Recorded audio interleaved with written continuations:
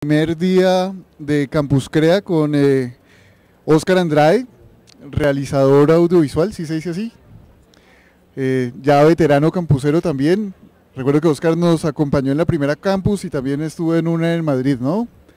Eh, Oscar es cabeza de Jaguar, de, también está involucrado en el Festival de Animación Loop, tiene experiencia pues, en videojuegos, en eh, animación, como se podrán dar cuenta, y nos va a hablar del proceso de la película Pequeñas Voces, que está próxima a estrenarse acá en Colombia, ¿no? Y bueno, arranquemos. Oscar, bienvenido. Bueno, gracias por venir. Eh, lo que está pasando ahí es el reel de nuestra empresa. Eh, el gatico pues es de la mascota del Festival Loop que organizamos eh, bienalmente. la idea es mostrarles un poco el proceso de cómo fue Pequeñas Voces, para que se den una idea de cómo es el proceso de producción de un largometraje animado. No sé quiénes de los que están acá son artistas. ¿Y el resto?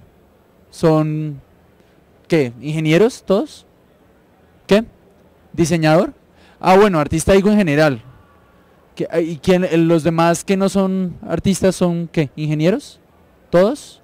¿O algo, alguien que me diga quién? ¿Qué? Ah, comunicadores. ¿Qué más? ¿Hay más comunicadores? ¿Y los otros? ¿Aprendiz del SENA? Ok, profesora. Em, bueno, porque les quiero mostrar un poco la parte técnica, que sé que les interesa bastante, pero sobre todo quiero mostrarles también un poco de conceptos artísticos que imagino que los artistas, los diseñadores ya tienen pues unas bases en eso y un poco de narrativa audiovisual como para que entiendan la importancia que tiene eh, la parte artística que eh, subyace detrás de toda la, de toda la técnica. ¿no? Em, este reel pues hace, como buen reel está atrasado, hace mucho que no lo actualizamos. Ahora estamos haciendo unos proyectos de películas. Esta, esto fue un video para Cabas, esto fue unos empaques para Señal Colombia, un sitios web también hacemos, Acá pues es muy loco porque es una empresa que hace largometrajes, hace sitios web. Es como Pixar no hace sitios web. pues, o sea, ellos viven de hacer largometrajes. Acá pues ya después del tiempo, eh, este año ya hay una convocatoria del Fondo de Desarrollo Cinematográfico que va a premiar largometrajes y eh, proyectos de largometrajes animados. Es la primera vez que se va a esa convocatoria y van a entregar 850 millones de pesos para proyectos de producción de largometraje animado. Entonces eso lo logramos pues yo estuve reunido con la gente del CENAC, que es el Consejo Nacional de Artes Cinematográficas, en representación del gremio de animación y videojuegos de, los empresarios que se llama Somos y de la Asociación de Independientes que se llama CIFA. Entonces, en representación de ellos fuimos ante el CENAC, hicimos esa solicitud, entonces creo que de aquí en adelante ya será mucho más fácil para ustedes, los que quieran hacer largometrajes, e ingresar a, estas categorías para tener un presupuesto interesante para ya negociar con un canal o con otro inversionista para tener una inyección de capital más fuerte. Eh, bueno, creo que ya vieron varias veces el reel. Esto lo hicimos para Señal Colombia, fue una serie que se hizo para niños para Señal Colombia. También pues cosas de web, también hemos hecho mapas conectados a bases de datos. Eh, y ahora pues estamos enfocándonos ya más directamente en animación. Entonces ya que lo vieron varias veces, voy a cerrarlo y les voy a mostrar el trailer de la peli.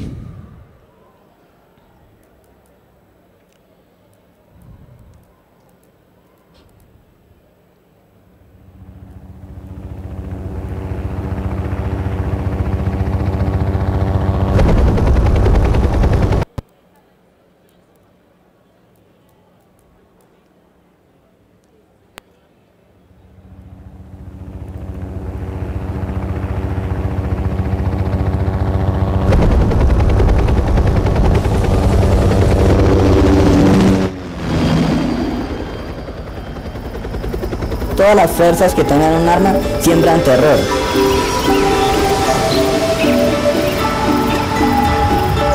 Así no quieran sembrarle en la vida, pero siembran terror. Las Fuerzas Armadas, ¿no? la guerrilla, las FARC, la autodefensa, hasta el ejército lo siembra. uno jugaba con ellos, iba por allá a la quebrada y ellos lo acompañaban a uno.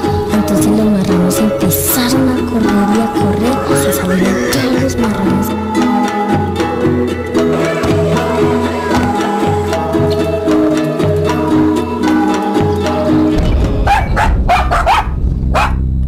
Llegó un guerrillero y nos dijo por primera vez que no fuéramos.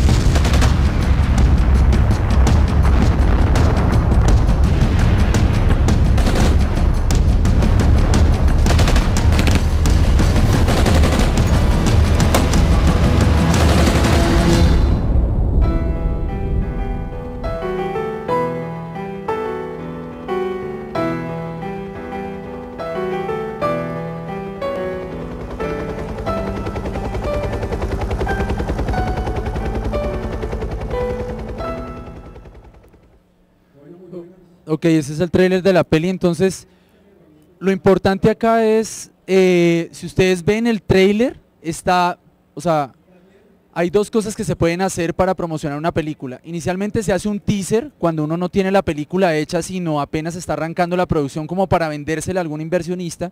El teaser se hace antes, que ahorita pues con Juan Carlos eh, y con Fabián también hemos estado trabajando en, en la producción de dos teasers de dos películas nuevas. Entonces teaser es cuando la película no está hecha y yo hago algo bonito para que la gente vea y diga, yo quiero comprar esa peli, más o menos.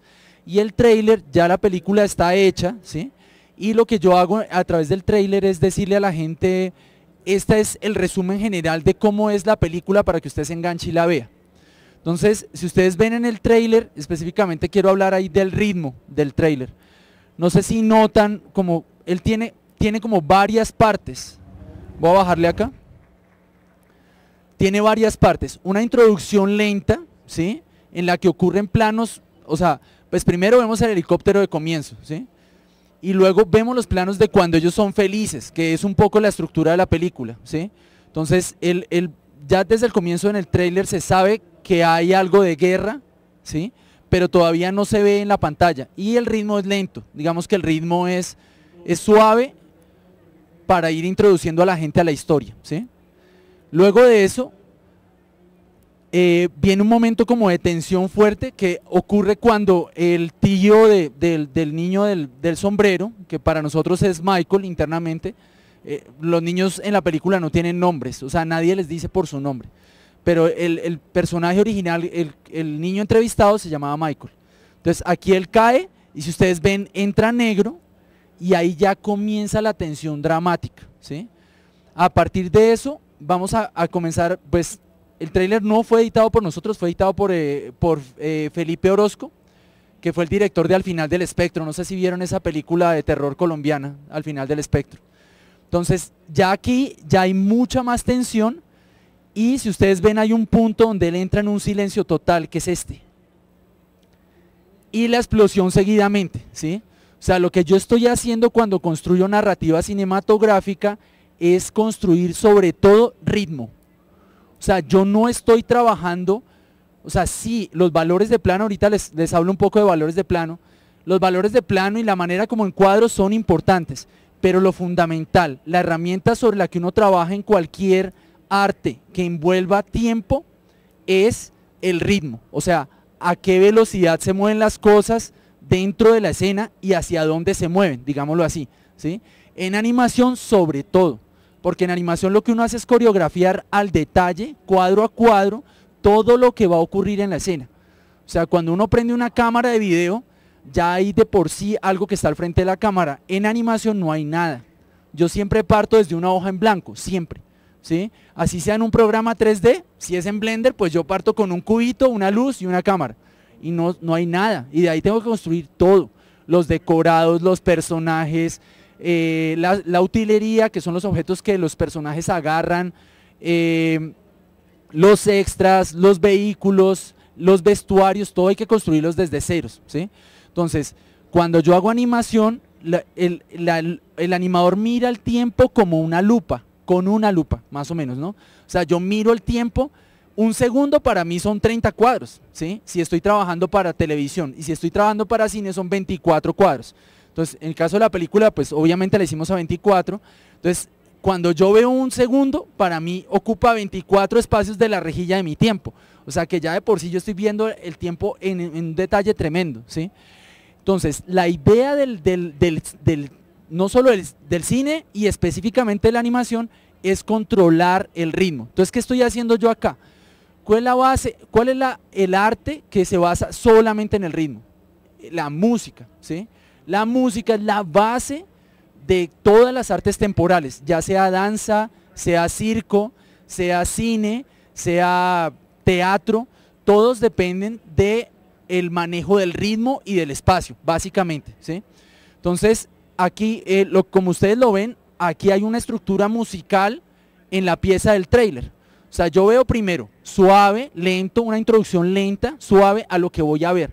Luego entro en un momento de tensión, lo dejo en punta, dejo un silencio muy grande y después de ese silencio estalla la guerra. Y la guerra es un montón de planos súper rápidos. Cuando vean trailers o teasers, vean que la estructura es casi siempre la misma. ¿Sí? O sea, casi siempre es una introducción lenta en que yo más o menos entiendo qué está pasando, una tensión dramática fuerte, que normalmente se puede intensificar con la música, y luego silencio total y luego pa, una andanada de golpes, golpes, golpes, explosiones, gente corriendo, un, un helicóptero cayéndose, lo que sea, para engancharlo a usted y luego pan, en punta lo deja, ¿sí? Ve- veámoslo nuevamente a ver si más o menos pillan el ritmo de cómo está construido el, el trailer. Lo voy a poner con sonido nuevamente.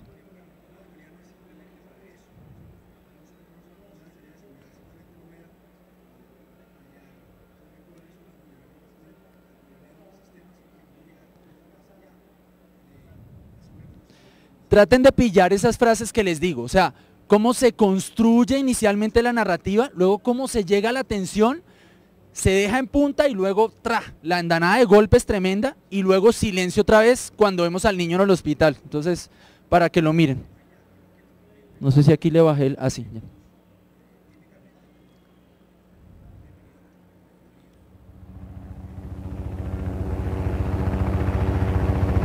Ahí lento, ¿sí?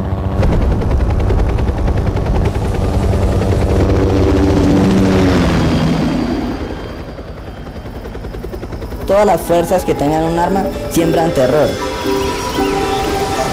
Y la música es lenta. No sé si nos notan que la música es Así no quieran sembrarlo en la vida, pero siembran terror.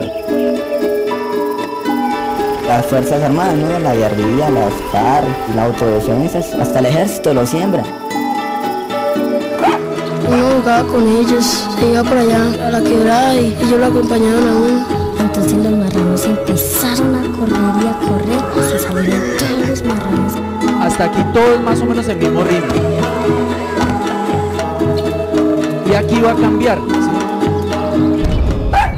La música cambia también, ¿sí? Llegó un guerrillero y nos dijo por primera vez que no fuéramos. O sea, la música cambió dramáticamente. O sea, eso cambia to- totalmente el ritmo, ahí genera tensión dramática. O sea, uno queda como algo va a pasar. Miren que todo este tiempo es preparación. Va a haber una explosión, pero se están preparando apenas para la explosión. ¿Sí? O sea, yo ya siento y acá fuerte.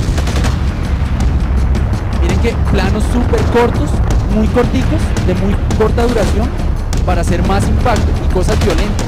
O sea,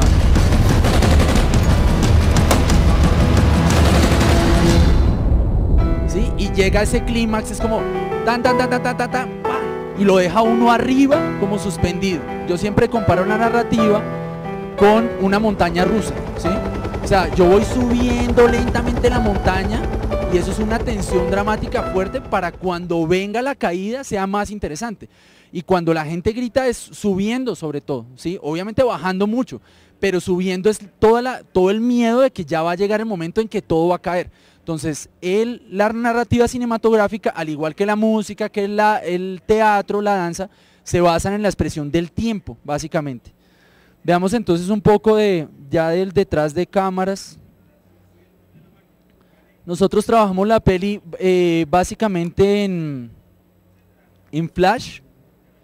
Entonces, eh, lo que hicimos fue una mezcla de 2D, 3D. Pues, vendieron la casa casi está regalada. Entonces, esta, esta animación está hecha enteramente en Flash con algunos fondos de referencia. Si ustedes ven aquí todavía están las referencias montadas. Casi y eh, eh, ya sobre eso, esa, pues, eso se exporta a una secuencia de, pues, de imágenes con transparencia y esa secuencia de imágenes con transparencia se pone en la escena 3D, en un plano con transparencia, básicamente. Es súper sencillo, es como las imágenes son, el, el, programa 3D las va a leer una detrás de otra, ¿sí? así como venían en, en el flash, y eh, las va a mostrar sin, o sea, sin borde, digamos, sin que se vea el rectángulo, el cartón donde están puestas. ¿sí? Entonces, esto está hecho en flash y es una técnica que se llama eh, animación despesada, o la, la, que se usa mucho en, en Toon Boom, que es, eh, en inglés se dice cutout, ¿no? O sea, yo le digo animación despiezada. O sea, lo que uno hace es, uy, me pillaron. Lo que uno hace es, en la animación despiezada, uno hace un, como un títere de papel. No sé si alguna vez hicieron títeres de papel que tienen chinches en, las coyunturas o agujitas para poder eh, mover, el, mover el muñequito, ¿sí? Entonces, el, el lío de la animación despiezada es que no se pueden hacer giros. O sea, yo puedo, por ejemplo, el niño camina tres cuartos, bueno, frente, perfil, tres cuartos, ¿sí? Entonces, el niño camina tres cuartos en despiezado, hasta ahí llega, pero él no puede hacer un giro, ¿sí? O sea, no en despiezado, me toca dibujar cuadro a cuadro el giro, ¿sí? Ya de pronto lo vemos ahorita en uno de los planos que están ahí. Gracias. Entonces, básicamente, estas son la, la primera secuencia, es la única de la peli en que, en que los niños tienen lo que se llama lip sync, o sea, la voz de ellos está hablada por ellos, o sea, los labios de ellos se mueven con la voz original. De resto, de ahí en adelante, todo es lo que se llama voz en off, o sea, ellos hacen la locución de la historia que les ocurrió a cada uno, pero nunca vemos que ellos dicen, ¿sí? En la película, en el audio final, que, fue una jeringonza, o sea, casi que es una película muda porque ellos están hablando, pero nadie habla. Entonces dicen, pues no había como otra manera de hacerlo y tocaba poner algún diálogo. Ya en la mezcla final a mí me parece que quedó un poquito alta, ojalá la puedan ver en cines, sale el 16 de septiembre a, a salas comerciales normales. Esperemos a ver cómo nos va. Entonces, en este tipo de animación, si ustedes ven, pues aquí está el diálogo, no sé si lo alcanzan a ver aquí abajo. Aquí está el diálogo, la onda del diálogo, y yo voy sincronizando pues la... ¿sí? Yo voy sincronizando y cada una de estas es una pieza. Si yo entro aquí al símbolo, para los que ya han manejado Flash, se compone de símbolos, entonces la cabeza está acá, y ya por dentro de ella imagino que están los, las posiciones de cada una de las bocas. Estas seguramente son las bocas. Voy a hacer un poquito de zoom acá. Ey. Y acá entonces pues cada boquita ya está definida en una librería. Entonces ya puedo ir poniendo boquitas. Mucho de esto también se dibujó cuadro a cuadro. Digamos que no es una serie. En la serie sí se hace mucho más uso de bibliotecas que uno ya ha acumulado para los primeros capítulos y obviamente los siguientes capítulos pues se producen más rápido porque yo ya tengo los ojos bravos, los ojos sorprendidos, los ojos tristes, los ojos alegres. Entonces ya no tengo que producir tanto material para los siguientes capítulos. En el caso de, una animación de largometraje, es, es, raro reutilizar, porque la idea es que un largometraje es de mayor calidad que una serie. Entonces todo se trabaja cuadro a cuadro. Nuestra animación es súper económica, o sea, es recontra económica. O sea, despiezado no se usa casi nunca para un largometraje. O sea, es como, no se usa, punto la ventaja que tuvimos sí fue la mezcla con, con, el programa de 3D, que le da muchísima profundidad al encuadre y nos permitía mover la cámara en diferentes ángulos. ¿sí? Entonces eso ayudó mucho a elevarle la calidad en general. Y lo otro que tiene una película que normalmente no tiene una serie son sombras. ¿sí? Entonces las sombras en este caso eh, se proyectaron desde el espacio 3D sobre el mismo espacio 3D, cogiendo las siluetas de los personajes animados. Entonces esta es, una, es un diálogo, si ustedes ven pues se pone el audio acá normalmente. En el pasado, ¿Cómo hacían si no había software? Pues les tocaba coger la cinta de audio y pásela en una máquina que la pase y coja en un papel y marque. Dijo huevo, huevo, ¿sí? En el cuadro tal. Y luego haga cuadro por cuadro todo eso, ¿sí? O sea, la animación tradicional era insoportable. O sea, yo nunca animé en acetatos, eh, pero era un arte. eh, si esto es artesanía, o sea, la animación tradicional lo es muchísimo más, ¿sí? Entonces, estas son algunas, pues, esta es la- pues, las animaciones de la primera secuencia y hay otras de la secuencia 8. Esta fue la primera secuencia que hicimos. Para que se den una idea, probando cosas para saber cómo iba a ser el look de la película, nos demoramos casi cuatro, cuatro meses más o menos haciendo solo la primera secuencia. ¿sí? Y luego tardamos otros tres años haciendo el resto de la película. O sea que realmente en la primera secuencia nos gastamos muchísimo tiempo porque el caballo no va así, sería mejor que los fondos fueran de esta manera, el render no nos funciona así porque las sombras no se proyectan bien. Tocaba hacer muchas laboratorio, o sea, investigar hasta dónde puede llegar la herramienta con la técnica que escogimos. Entonces, siempre al comienzo de una producción uno se demora mucho más. O sea, ya después al final pasa en todo. O sea, creo que en todas las disciplinas. O sea, cuando uno va al comienzo uno se demora un huevo en cada, en cada tontería. Pero cuando uno va avanzando ya cada vez lo va haciendo más rápido y mejor, ¿no? Entonces veamos algunas de estas de estas animaciones sueltas, pues aquí por ejemplo es un es, es despiezado, pero él va a tres cuartos, que es en general cuando uno quiere que algo se vea bonito, no lo pone ni centrado en el cuadro, o sea, como las fotos de paseo que siempre son centradas, eso para los diseñadores o para los artistas no es bonito, ¿sí? O sea, centrado es, se usa específicamente para ciertas cosas, como por ejemplo, si es, si es una deidad o si es un Saiyajin, pues sí lo pongo en el centro. Pero si es un personaje normal, casi siempre lo pongo de lado. Y mirando hacia un lado del encuadre, para que se vea más lindo. No, o sea, no me pregunten por qué, pero es así. O sea, los artistas lo llaman la ley de los tercios, ¿sí? O sea, yo divido el cuadro en tres partes y casi siempre pondré en alguno de los tercios el personaje, no lo pondré en el centro, ¿sí? O sea, es, es lo normal. Entonces, si yo, un encuadre es más lindo también, si el, si el personaje está tres cuartos, si no lo veo ni lateral ni frontal, ¿sí? O sea, uno lo usa y funciona, ¿sí? No siempre funciona, pero en la mayoría de los casos un encuadre tres cuartos, o sea, una pose tres cuartos, o sea, de tres cuartos frente a la cámara es más linda, ¿sí? Entonces este también es despiezado. Si ustedes notan, se ve el despiece. O sea, se ve roto el personaje. Digamos que en el despiezado se trata de evitar eso. Pero en este caso eh, había una imposibilidad y es cuál. Nosotros... ¡Cójalo!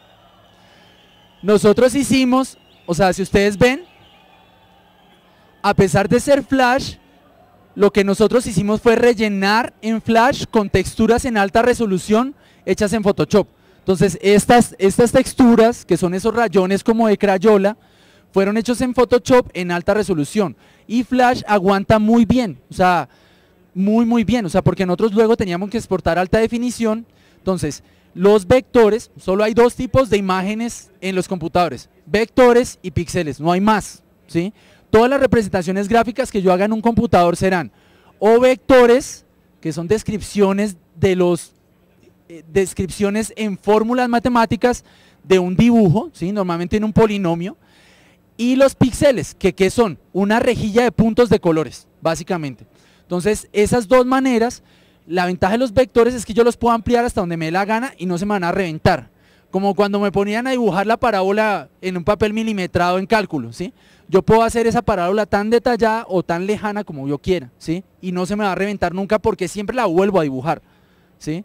En cambio en los píxeles yo tengo una, si ya la, la imagen original era 400 por 400 píxeles y la amplío a alta definición, pues esa mierda se va a pixelar de seguro, ¿sí? Se va a volver nada, ¿sí? Entonces Flash recibió muy bien eso y podíamos reproducir en tiempo real las animaciones sin pensar que la, textura estaba en alta resolución.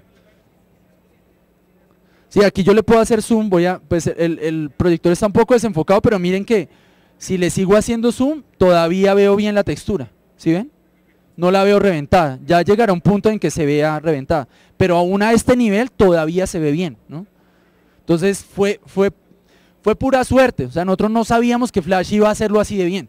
Probablemente lo hubiera hecho súper mal y nos hubiera tocado coger otro camino. ¿sí? Voy a poner otro por acá. Este lo hice yo, pero este creo que es hice como tres o cuatro animaciones en toda la película, al comienzo. Sí, entonces el perrito ahí husmea, como unas hormiguitas que están pasando, y ladra. Y este, este plano quedó un poquito más, o sea, quedó cortado en la película, no, se- alcanza a ver que ladra el perrito. Entonces también, pues, la gracia reside en el diseño, los, diseños de los personajes son de Carolina Villarraga, diseñadora de la Universidad Nacional, y ahorita pues, está viviendo en Barcelona. Y los, eh, creo que uno de los aciertos de la peli fue lo- eh, los diseños de los personajes principales son muy lindos. O sea, y el- la combinación con los secundarios. Ya vamos a ver algo de los secundarios. Este que también lo hice yo, aquí. Ah, no, este no. Ahí sí. no, ese no, ese no. Los que estén mal no los hice yo. No, es que hay, un, hay uno en que es este.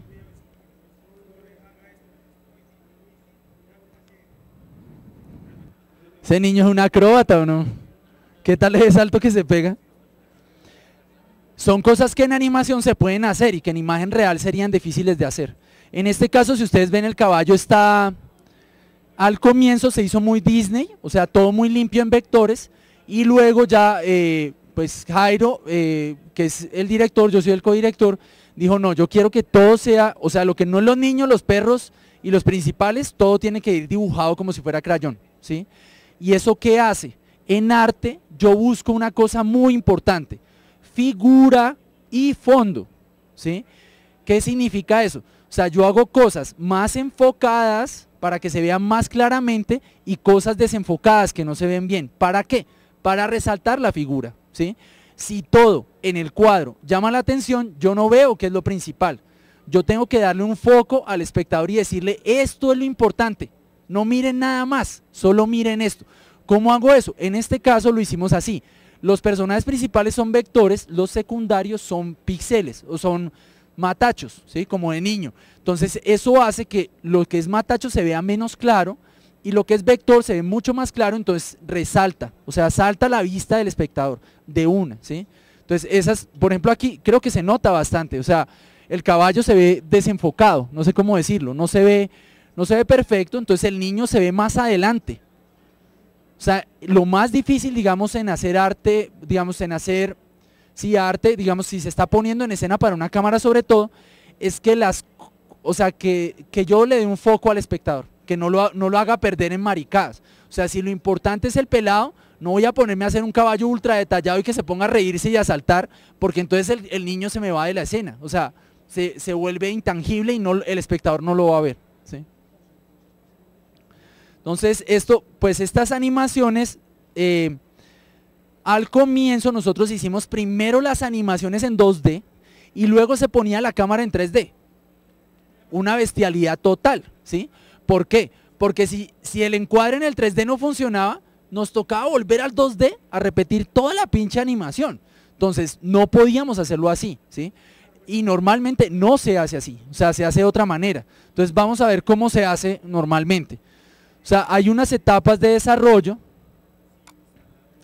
Inicialmente lo que se hace es una, una animática. Entonces vamos a ver ya. O sea, esta peli es muy especial porque es un documental animado, ¿sí? Que ahorita se está usando bastante. No sé si llegaron a ver Vals con Bashir, que es una, es una película de un israelí que cuenta cómo mataron palestinos durante una guerra muy cruenta. Y es toda lo que se llama rotoscopiada, o sea, calcado de, de video filmado real. ¿sí? Entonces, como esta es, es tan peculiar, inicialmente Jairo tenía una historia que era muy difícil de contar, porque tenía mucho gore, mucha sangre, tremenda, o sea, ustedes saben aquí cómo ha sido la guerra de grotesca y de inhumana, ¿sí? De asesinatos, gente cortada viva con una motosierra, eso lo sabemos todos. Pero eso nosotros no lo podíamos mostrar en la película. Y él en el guion inicial lo tenía. Entonces, lo que nosotros le dijimos, yo le dije, Jairo, no podemos hacer esa película porque esa película, ¿quién la va a ver? O sea, es muy difícil que alguien la vea. O sea, ni siquiera, o sea, ahorita la película la está distribuyendo Cinecolor, que son los representantes aquí de Disney, de la distribución de Disney. Y eso ha sido gracias a que la película también se bajó un montón de tono, por lo menos en que no se viera tanta sangre y tanto gore, y que fuera mucho más sutil en la violencia que, que, mostraba. ¿sí? Eh, entonces, ¿qué hicimos inicialmente? Lo que hicimos fue, con las voces de los niños, cogimos las mejores entrevistas, las que eran más expresivas, las que comunicaban mejor la historia y que sobre todo no sufrían directamente la violencia, cogimos esas y las editamos hasta lograr una historia más o menos coherente, cambiando y alterando el sonido. O sea, el hecho de que esto sea un documental no quiere decir que no, no tocamos lo que estaba, lo que los niños decían. Claro que lo tocamos. O sea, claro que teníamos que inventar, porque además las entrevistas eran muy sencillas. O sea, Jairo, sencillas no, o sea, muy, iban muy al punto. O sea, Jairo les preguntó a los niños y en toda la investigación se entrevistaron como 150, 160 niños. Les preguntaba, ¿cómo era tu vida en el campo? Y luego les decía, bueno, ¿y, cómo te desplazaron? ¿O cómo te fuiste de allá? ¿Sí? Entonces, pues no había intermedio. O sea, estaba cuando eran felices y cuando ya no estaban allá. Entonces nos tocaba en la historia crear buena parte de lo que no existía en la narración. Entonces vamos a ver una etapa que se llama, la primera etapa cuando yo estoy construyendo, eh, cuando yo estoy construyendo la, la historia es eh, la puesta en escena. ¿sí? La puesta en escena es decir, este personaje entra por acá, se queda, se sienta, luego se para y se va, y el otro entra después. ¿sí? Eso es puesta en escena. Suena muy sencillo, pero pues ya cuando uno lo va a hacer es complejo. O sea, si hay muchos personajes en escena, toca contar las entradas y salidas de todo y que eso sea interesante y que cuente algo para el espectador. ¿sí? Entonces la puesta en escena es, digamos, una, a veces se hace en, en planta, no sé si entienden qué es en planta, en planta arquitectónica, o sea, desde arriba. Se hace con muñequitos, con bolitas y palitos, pero desde arriba como viendo cómo es la construcción de todo el espacio en el que se van a mover y yo muevo esas bolitas. En este caso no lo hicimos así. Lo que hicimos fue la siguiente etapa que se llama storyboard, que es, pues los que han trabajado más o menos en animación saben que esa etapa es fundamental. En el storyboard yo hago un cómic de lo que va a pasar, ¿sí? Entonces aquí lo que vamos a ver es una etapa siguiente, que es la que se llama, ya yo tengo el storyboard, ¿yo qué hago con ese storyboard? Lo monto sobre sonido y eso es lo que se llama animatic. Se usa bastante también en publicidad los animatics para mostrarle al cliente más o menos cómo se va a ver el comercial. En este caso es súper importante el animatic, ¿por qué? Porque como eran voces de niños documentales, era lo natural de hacer. Entonces, estos, estos animatics los hicimos de, en un estilo muy sencillo. Pues ya les voy a mostrar cómo son.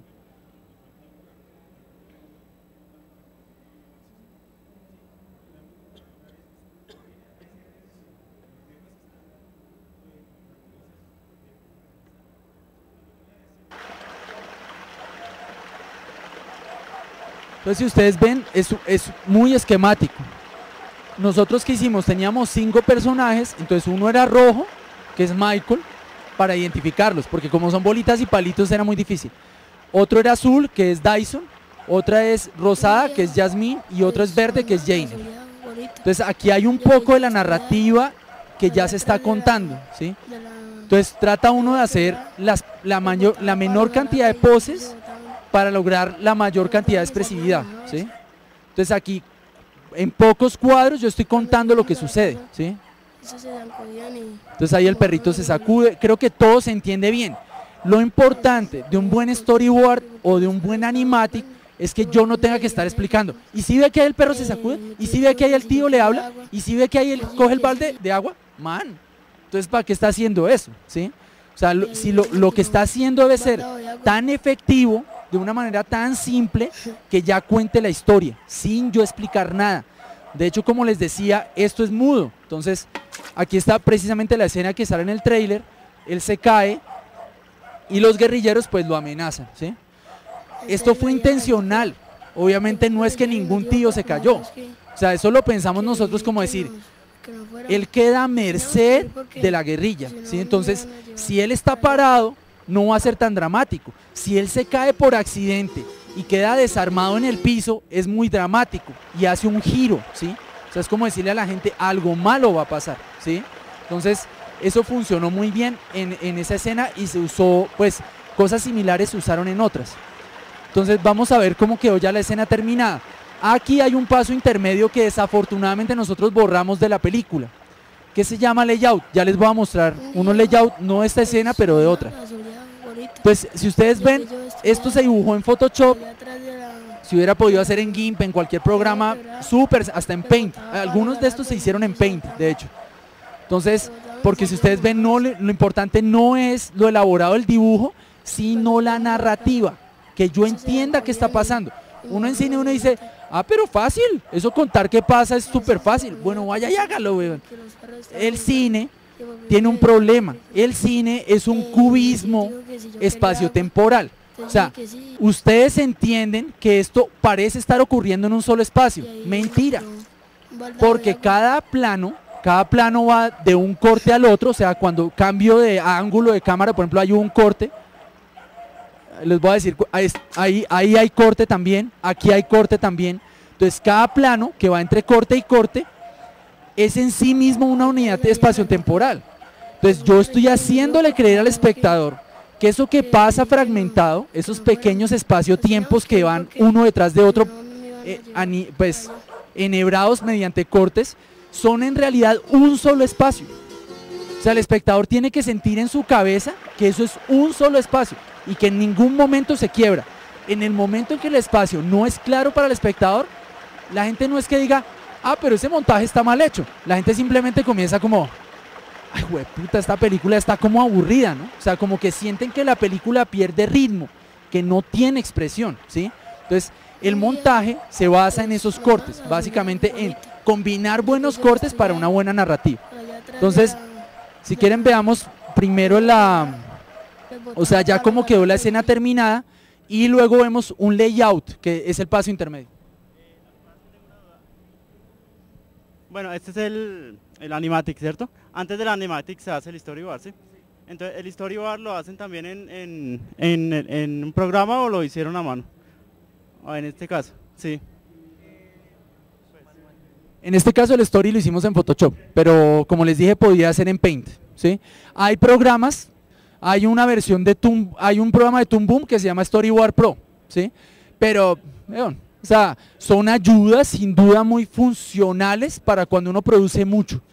Pero pues se pueden encontrar herramientas mucho más sencillas, de hecho en papel se hubiera podido hacer sin problema, pero era más rápido producirlo en digital, sobre todo para hacer correcciones, ¿no? O sea, a veces eh, las correcciones en digital, cuando uno tiene un, documento por capas, pues son una bobada. En cambio, vaya usted y cambie un muñequito de posición si lo hizo todo a lápiz y lo escaneó luego, weón. se vuelve un camello cambiar cualquier cosa.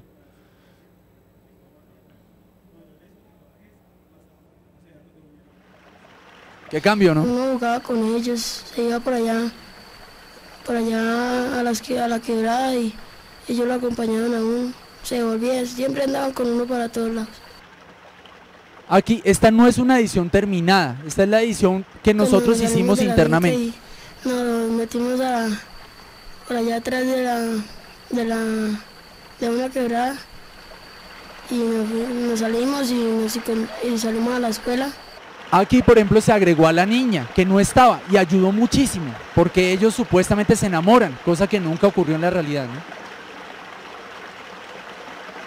Estos planos, por ejemplo, salieron de la edición final, porque ya se alargaba mucho la historia.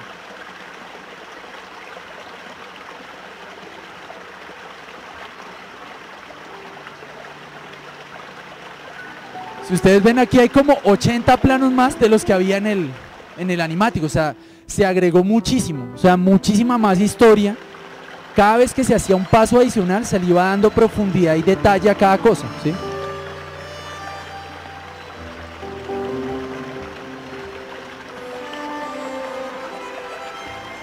Hágame el favor los fluidos de la película. ¿Qué importa que haya fluidos? A nadie le importa, ¿sí? Eso solo, o sea, sí importa si la película trata de eso, pero si uno está contando una historia no toca tener el mega fluido para hacer una película.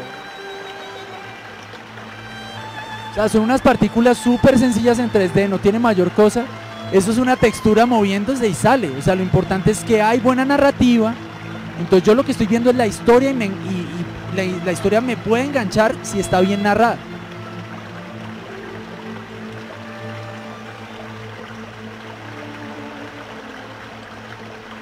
Aquí si ustedes ven, cuando él lanza el palito, se detuvo el tiempo intencionalmente para hacer paso a la siguiente escena. O sea, para que no sea como bota el palito y ya está llegando donde la abuela. Cuando llegamos a la casa. O sea, esperar que pasen las cosas, o sea, se demoró el tiempo, se dilató el tiempo para hacerlo más interesante. Se ponía contenta que porque los perros estaban jugando.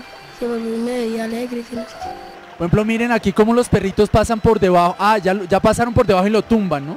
Eso fue, o sea, eh, fue un equipo muy pequeño de producción, entonces todos Eh, aportábamos. No había propiamente un director. Dije que sí. Sí, sí había, pues yo supuestamente era el director, pero muchas de las cosas pero inventaron los animadores sobre el agua. camino. No, no, no fueron, no fueron intencionalmente puestas por el director ahí. Entonces Que es un esquema súper diferente al de Hollywood, súper diferente. Eso está todo en Hollywood, o sea, en Pixar está súper esquematizado.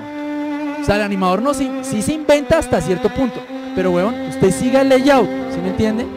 No, pero es que a mí se me ocurre que es así. No, weón, haga el puto layout como se le dijo. weón. Alimente la animación si quiere, pero la cámara no se va a mover porque a usted le da la gana. Eso ya lo puso el director así.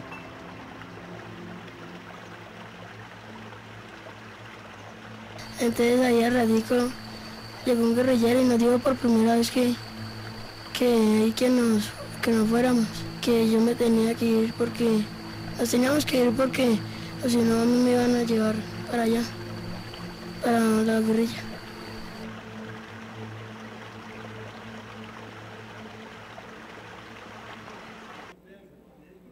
Dura como casi dos minutos más que el animatic, o sea, es bastante ellos, más largo. En algunas escenas no pasó eso, en algunas escenas pues simplemente era, era de la misma duración. O pasó también que eliminamos muchas cosas. ¿Por qué se hace en animación todos estos pasos? Porque ya luego corregir lo que está completamente colorizado con cámaras en 3D, vean, o sea, eso es un camello, mejor corrija desde antes. O sea, equivoques en el boceto. Entonces nosotros duramos seis meses dándole solo al animatic. Y escenas que se votaron, pero montones, o sea, porque sabíamos que no iban a funcionar. Entonces, eh, o sea, uno, uno monta primero, o sea, en, animación uno edita primero. O sea, uno primero hace el montaje y luego sí hace la película, ¿sí? Al revés de como es en el documental. En el documental yo filmo todo lo que me quepa, ¿sí? O sea, horas y horas y horas y yo luego llego a la sala de edición y ahí sí le da, o sea, el editor es quien hace el documental casi. O sea, ya editando todo el material que tengo, de las 80 mil horas a la, a la media hora que va a quedar el documental, ahí es donde realmente coge forma. En cambio, la animación tiene que coger forma desde el comienzo. ¿sí? O sea, en los detrás de cámaras de Pixar lo habrán visto que el, el story y el animatic se pule muchísimo antes de hacer nada. O sea, uno no se pone a hacer nada hasta que no tiene la historia en la cabeza y bien puesta en un animatic, pues. Veamos otro. Ah, pues veamos un layout entonces.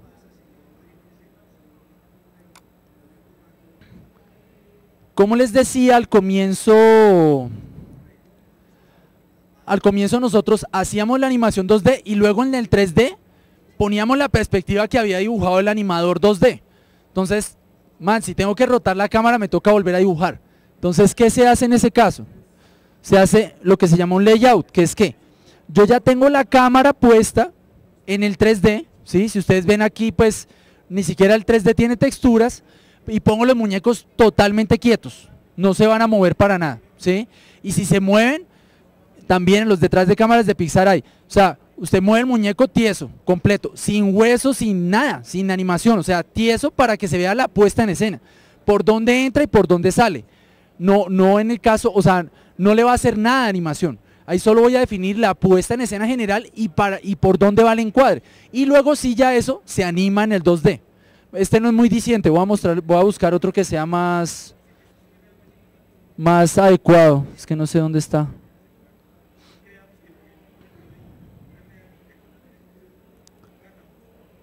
Tendría que estar acá. No, pero es que esto es toda la secuencia 1.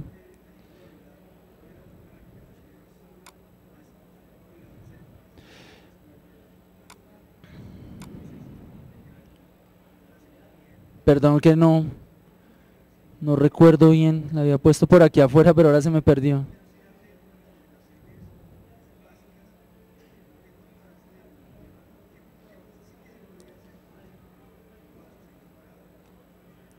Ah, aquí hay uno. Estos fueron planos que no quedaron en la peli. Y este es un layout. O sea, Ahí está, la puesta en escena es, es, es que este, uno de los personajes se sacó en la etapa de, layout. O sea, que eh, eran muy parecidas dos historias, entonces decidimos sacar uno de ellos para que no fuera tan confuso. Pues que narrar cuatro historias en paralelo no es normal. O sea, normalmente si ustedes ven el cine gringo hay un protagonista y sale, nadie más, ¿sí? Para darle foco, ¿sí? Para no confundir a la gente. Ya Toy Story es mucho más arriesgado, o sea, Pixar sí se arriesga con tener muchos personajes principales, pero en general el cine de Hollywood es súper conservador y siempre tendrá un héroe, ¿sí? que pasará los, el camino del héroe normal de que ya veremos algo, algo del camino del héroe si alcanzamos. Entonces, en este caso esto es layout, ¿sí? Que es, si ustedes ven es solo la puesta en escena de la cámara, no más, con los personajes tiesos, solo moviéndose más o menos recorriendo el espacio, ¿sí? Como para entender por dónde se van a mover y ya con ese movimiento ahí sí el animador 2D puede hacerlo. Entonces, este personaje lo sacamos, entonces por eso fue que quedaron los layouts, porque el resto nosotros agarramos el layout y sobre eso ya se montaba la escena final, razón por la cual no quedó layout de nada de la película, ¿sí? Solo de los planos que finalmente no aparecieron, o sea, que sacamos ya en la etapa de layout. Entonces aquí, bueno, Rodrigo fue un niño que salvó a la mamá porque la mamá estaba cortando en el cultivo y le estalló una mina. Entonces el niño prácticamente la salvó, la llevó al hospital y era un niño súper chiquito. Pero ese persona, ese, él es el que le dice al gatico que eh, antes de la explosión en el tráiler. Quedaron unos pocos planos de él, pero como personaje salió totalmente de la película. Eh, y bueno, pues ya todo el resto de cosas, o sea, pues ya vieron más o menos el proceso, o sea, el storyboard, que pues no existe porque existió fue Animatic, un layout, que es ya donde yo detallo en 3D cómo se van a ver las cámaras, y ya la, animación final y luego decorados, que ahí no se ve, pues los decorados ya están puestos de una, pero hacer todos los decorados, maticas, eh, no sé, árboles atrás, o sea, darle forma a la escena ya es un camello que viene después, que es bastante largo, ¿sí? Entonces, sí. Es totalmente necesario hacer el, el, el layout porque yo puedo colocar en puesta de escena, pero en 2D en el animatic. Entonces, ¿para qué hago el layout? Es necesario trabajarlo en 3D. Sí, pasa mucho que, o sea, nos pasó por ejemplo nosotros en la serie que hicimos para Señal Colombia, al comienzo yo no sabía, o sea, yo cuando comencé a hacer esto, yo nunca había usado el layout. O sea, decía, pero ¿qué diferencia tiene con el animatic? Si es la misma monda. O sea, es como ver cómo se van a mover los personajes, ¿sí? Entonces, lo que lo que se hace en el layout que no se hace en el animatic es que a veces un encuadre que usted pintó muy sencillo en dos, o sea, en un dibujo libre, ya con la escena final, el río puesto, las piedras puestas, los troncos puestos, ese encuadre no sirve.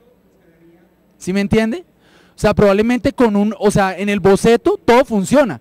Por ejemplo, nos pasó en, en Flotanautas, que fue la serie que hicimos para Señal Colombia, había una niña se paraba en la ventana y podía ver por la ventana. Pues resultó que el bus ya puesto, o sea, la flota ya puesta, la real, la que iba a quedar al final, con la niña real que iba a quedar al final, la niña no alcanzaba la ventana.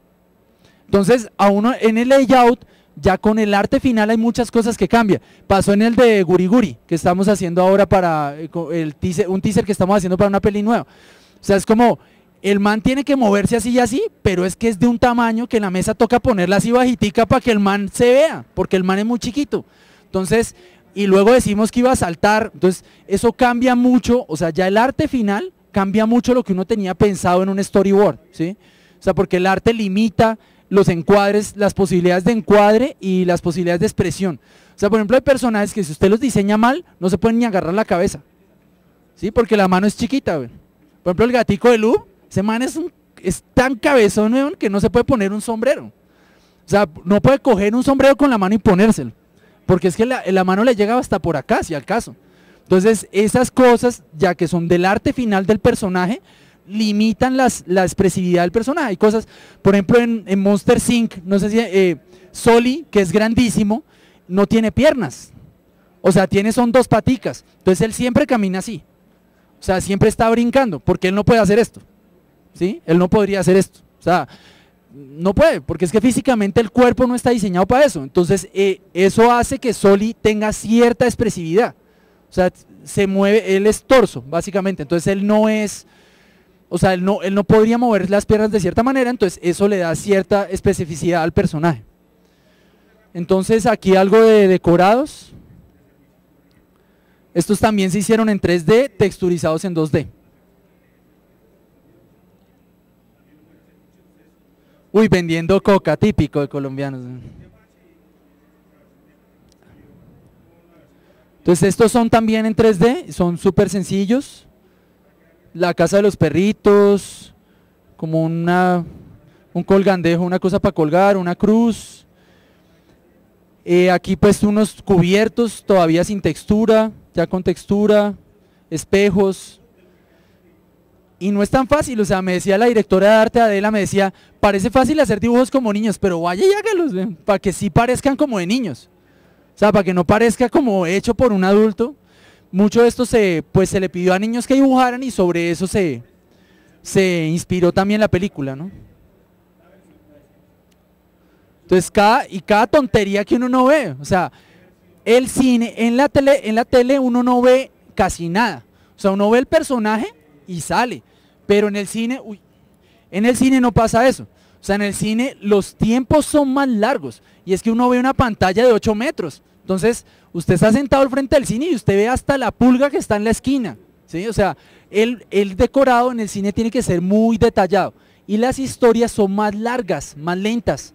Las historias no son tan rápidas como en la tele. Y son menos basadas en diálogos, son mucho más basadas en, en, en acciones. ¿sí? O sea, en la televisión es mucho más acostumbrado basarse en diálogos. ¿Por qué? Porque si yo estoy preparando la comida, pues puedo seguir oyendo el diálogo. Pero en el cine no. En el cine yo estoy sentado solo para ver la historia. ¿sí?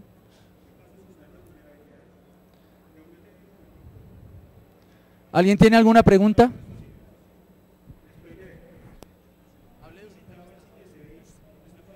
Eh, muy buenas noches a todos. Eh, pues la verdad, eh, o sea, eh, haciéndole como la acotación, sí, como la parte de Flash, he manejado como Flash hace como 5 o 6 años y vivir esa experiencia que ustedes hicieron de verdad es bastante loca y, y- veo que lo lograron bastante bien porque hacer que la fluidez del, del cuerpo de cada personaje coja ese ritmo con como la parte como el lip sync fue alcanzada de una manera increíble y, y el movimiento sí, pues, de planos con los enfoques en 3D fue un buen alcance. La verdad no me imagino la parte como de post y, de producción, debe ser todo un video. Eh, esto, la pregunta que, que- te quiero eh, hacer es esta. O sea, uno hace eh, un cortometraje o un video o una película y es como el hijo de uno, ¿cierto? Que es como, es, es algo muy bacano. Entonces la pregunta es, ¿qué, qué aprendiste de esto? Porque es una experiencia que, que mejoró como la película de Bolívar Héroe, que fue algo, algo absurdo. Eh, pues para mí Pequeñas Voces es mi hijo, mi hijo conflictivo, porque yo, a mí la, la historia me parece conflictiva, pues porque es sobre guerra. Entonces yo no, no estoy tan seguro que hablar de guerra sea tan positivo, ¿sí? O sea, creo que ahorita les muestro algo de lo que estamos haciendo nuevo que es más propositivo, o sea, no tan de denuncia, pero más de contar cosas nuevas o hablar de fantasía para abrirle a la gente la cabeza. Igual nada, pues fueron casi, o sea, yo, o sea, yo llevo mucho tiempo con esta peli y ya he hablado tanto de ella que veo, o sea, es como, ya me la conozco mucho, ¿sí? Y ya la he visto muchas veces, entonces, igual para mí ya lo, lo importante es que cuando yo voy a la sala, o sea, por ejemplo, cuando la estrenamos en el Festival de Cine de Venecia, la gente salió llorando, pero llorando, o sea, el, no sé, el 60, el 70% de la sala salió llorando. Entonces, lo que yo como artista debo lograr es eso. O sea, a mí no me importa si eso fue 3D, 2D, si fue rotoscopiado, si fue stop motion, no me importa, porque eso es, es la técnica que subyace, pero lo que el artista debe hacer es comunicar una sensación. O sea, si, si usted va a una película de miedo y no se asustó nunca, pues que devuelvan la plata. weón. En cambio, si usted va a una película que su, como esta es una película para llorar, y si usted sale llorando, usted dice, uy, no, qué película tan severa. Pues usted sale lavado en lágrimas, pero precisamente a eso fue, ¿no? Para eso pagó la boleta, para que lo hicieran llorar, ¿no? O sea, entonces uno debe lograr un impacto en el público, eso es lo más importante. Entonces, claro, cuando yo fui a Venecia, pues la emoción de estar en Venecia y Tarantino y no sé qué, pero sobre todo, o sea, ver que la película realmente golpea a la gente de frente es muy conmovedor, o sea, es muy, es, es- es impactante, o sea, aún yo la, la he visto dos, tres veces y llega al final y es como, ay, güey, madre, o sea, me dan ganas de llorar. O sea, porque el final es contundente. Yo creo que lo mejor de la película es el final. O sea, al final, cuando la vean, ojalá les parezca lo mismo que a mí. O sea, una película puede ser regular zonga, regular zonga, pero llega un buen final y usted sale feliz. En cambio, por ejemplo, si ustedes se vieron la Guerra de los Mundos de Spielberg, es como, de puta, weón. los marcianos los mataron, ¿cómo, weón? En cinco minutos, en dos minutos se murieron todos. Y alguien me decía, no, pero es que así es el libro. ¿Y qué importa, weón? O sea, ¿qué importa que así fue el libro? O sea, es que la película no se hace para ser fiel al libro, la película se hace para hacer una película, ¿sí? O sea, no importa si el libro era así. Como les decía, las historias de los niños no son así. O sea, no es como, no, no, no digamos eso porque los niños no dijeron eso. ¿Qué importa? O sea, estamos haciendo es una peli. O sea, esto es, esto es de mentiritas. O sea, aquí nos estamos inventando una historia, no estamos haciendo la historia de los niños exactamente como ellos la contaron. O sea, para eso uno pues, reparte un DVD con un CD con las grabaciones de ellos y los vende a 3 mil pesos. O sea, lo que hay que hacer es una historia y esa fue la tarea que se nos encomendó. Entonces, si yo estoy construyendo la historia, debo, debo tener todo eso en cuenta. Eh, otra cosa importante es la administración del proyecto. Una vez hecho el animatic, uno pasa a lo que nosotros llamamos un desglose de producción. También en cine se le llama sábana de producción, en algunos casos. Entonces, por ejemplo, acá, si ustedes ven, se usó un desglose que no, en este caso no funcionó muy bien, pero más o menos para que se den una idea en general, lo que siempre se hace. Un desglose es básicamente decir cuáles son los recursos que yo necesito en cada momento de la peli, ¿cierto? Porque como son un montón de cosas que tengo que poner, no se me puede olvidar ninguna. Es como llegar al final de la película, ahí el personaje donde estaba, no le tocaba a usted, no a mí. Entonces hay que dividir cuáles son las cosas que componen un plano y de, y de esas cosas pues encargársela a, personas específicas, ¿no? Entonces, eso se hace con tablas. Entonces, por ejemplo, aquí dice, espero agrando para que vean mejor. ¿Ahí ven mejor? Entonces aquí arriba dice, esta es la escena de los perros, entonces se necesita dos espacios que son vallas meta, cinta meta, unos árboles, unos matorrales, un camino, un recorrido del piso, un piso a la salida del pueblo, ta ta ta ta ta, ta ¿sí? Más personajes. Entonces aquí necesito de personajes, necesito a Michael, necesito la gente de la tribuna, unos niños en la escuela que son extras, un portero de la escuela que abre la puerta, el caballo, las hormigas, ¿sí? Entonces todo esto se pone y luego se pone aquí. De los números de plano, pues no, no, no, no sé si lo mostré o, o si estaba, pero uno numera el animatic. O sea, uno dice, este es el plano 1, este es el plano 2, este es el plano 3, el plano- ¿sí? Entonces aquí están los números de plano y aquí pues qué está hecho y qué no está hecho. Esto se usa como un semáforo, entonces rojo no está hecho, amarillo está en proceso y verde ya está terminado, ¿sí? Entonces, este realmente para la peli como éramos tan poquitos, no funcionaba tanto ese desglose. Porque eso cuando hay 40 personas trabajando es muy útil, pero cuando hay una sola persona, ponerse además de armar la escena, llevar el desglose a veces es un poco engorroso. Entonces, este no se usó tanto. Pero por ejemplo en la serie se usó montones, o sea, sin eso en la serie no hubiéramos podido. Este es otro documento que se usó ya para hacer el render final. Entonces aquí lo que hay son los 880 planos que componen la película. O- 803 planos, perdón. Entonces aquí arriba está marcado. Los o sea, ¿quién, ¿quién es el encargado? En este caso Ricardo García, que fue persona clave, hizo casi buena parte del montaje 3D, fotografía, animación de, de helicópteros, todo eso en cuadres, o sea, aquí no es como, no, tú, yo soy el rigger, qué pena, yo no toco nada del personaje, yo no toco nada de la animación, Bebón, hágale, tenemos que acabar, o sea, haga de todo, o sea, aquí no se puede usted poner a, a tirárselas de Pixar. Este, por ejemplo, es una secuencia grande que era un solo plano gigante que salía de la ciudad y llegaba hasta el campo. Entonces era un solo plano, pero era lo que se llama un plano secuencia. Plano secuencia es un plano que nunca corta y cuenta muchas cosas durante la duración del plano. ¿sí? Entonces estas tablas fueron fundamentales para ir llevando cuando duramos cuatro meses haciendo render. Entonces, pues a los cuatro, a los dos meses uno ya ni se acuerda que, cuál era el render que había hecho yo y ese qué problema tenía, pero eso yo ya lo había hecho, ¿no? Entonces, todas estas tablas son para evitar perder trabajo, o sea, no repetir, que nadie venga y haga otra vez lo que ya alguien hizo, ¿sí? O sea, que ya sepa que está hecho y que yo también me acuerde hacia el futuro de que sí, de que sí tengo que hacer ese plan. Em, y también se llamaba un diario, que era como, hey, vaya y mire el desglose porque usted tiene que hacer tal y tal. Entonces un diario de todas las, de las correcciones que tenía que hacer cada uno. ¿sí? Entonces cada uno por nombre y, le ponía ahí el director o el asistente de dirección le decía, hey, usted tiene que ir a mirar tal plano que le toca hacer tal cosa. ¿sí? Entonces son, estos también existen sistemas de control para hacer animación, ¿sí? Pero pues también se pueden llevar en tablas.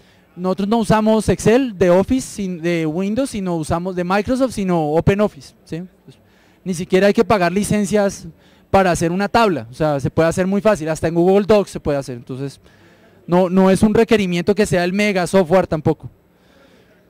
Y pues eh, les voy a mostrar de... Creo que ya mostré casi todo. No sé si ya tienen alguna, alguna duda con respecto a esto y ya paso como a mostrarles si tenemos tiempo un poco de los otros proyectos que estamos haciendo. Eh, buenas noches. Mi pregunta va dirigida es ¿por qué Flash y no un programa como Maya que te facilita muchas cosas, así como, como hacen South Park o este tipo de cosas que, que permiten tener controladores, algunos elementos pues que, que facilitan el, proceso de, producción de la animación? Esa es mi pregunta. Pues en Flash se hizo, fue lo que dos, el 2D y todo lo que fue 3D en Max. Entiendo que hay algunos programas que facilitan la producción 2D y de hecho en este caso fue muy útil, o sea, eh, pero Flash era porque la mayoría sabían Flash.